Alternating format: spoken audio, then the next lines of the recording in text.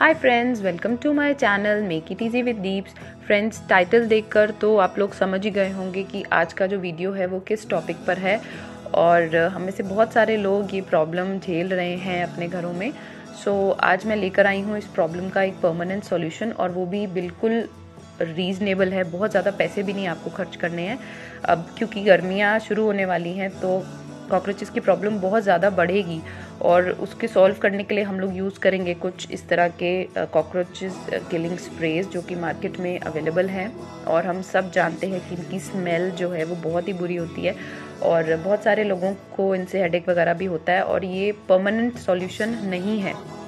और इसकी बॉटल के पीछे आप देख सकते हैं लिखा हुआ है पॉइजन सो so, ये बहुत ही एक डेंजरस चीज़ है हम लोग इसको इनहेल करते हैं तो।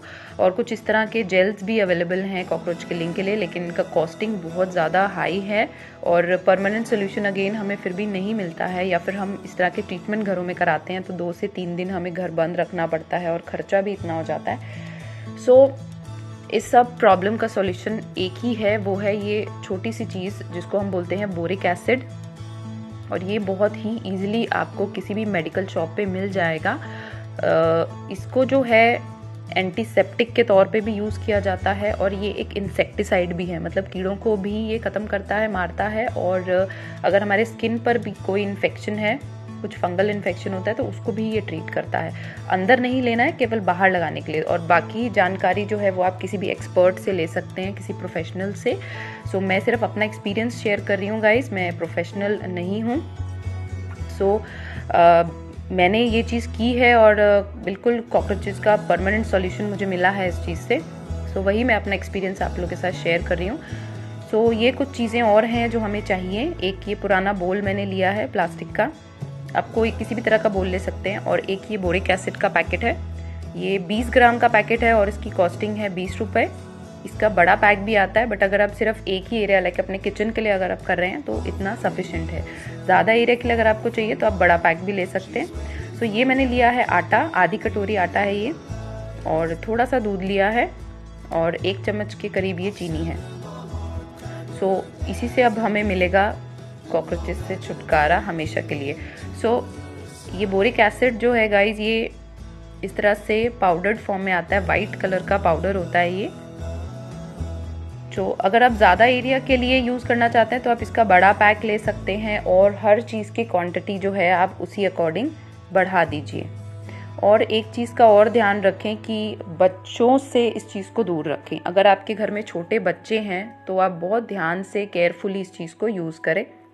सो so, मैंने उस बोल में आटा डाला है चीनी डाली है और अब मैं इसमें मिक्स कर दूँगी ये बोरिक एसिड पूरा पैकेट मैंने इसमें डाल दिया है और अभी इन सब ड्राई चीज़ों को मैं मिक्स करूँगी अच्छे से.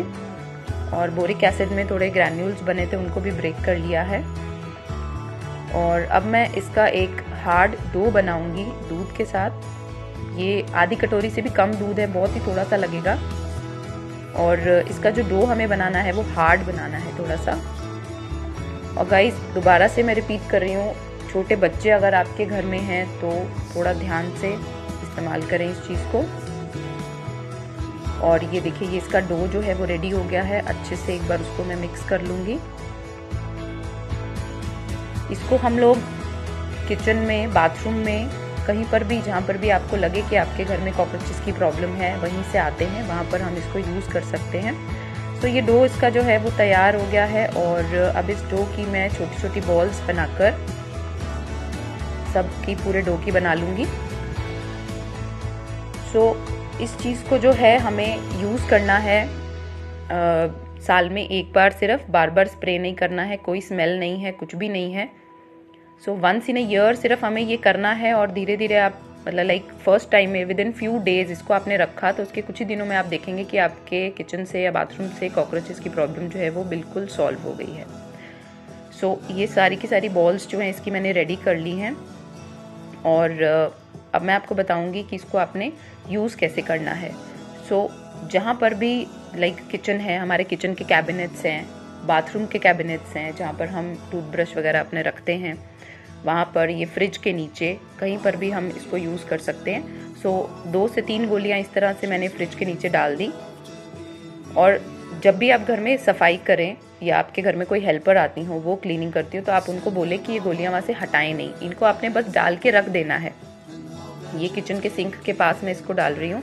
इसी तरह अगर आप बाथरूम के सिंक के पास डालते हैं तो किसी प्लास्टिक के पुराने ढक्कन में आप उसको रख के डाल सकते हैं। डस्टबिन के पास रात के समय बहुत कॉकरोचेज आते हैं वहाँ पर इनको रख सकते हैं। और कुछ ही दिनों में आप देखेंगे कि आपको इस तरह से सफ़ाई में मरे हुए कॉकरोचेज निकलते हैं, जिनको आप क्लीन करते रहें। और गाइज़ ये वीडियो कैसा लगा? प्लीज़ मुझे ज़रूर बताना, और अगर अच्छा लगा हो तो अपने फ्रेंड्स के साथ इसको शेयर ज़रूर करें। थैंक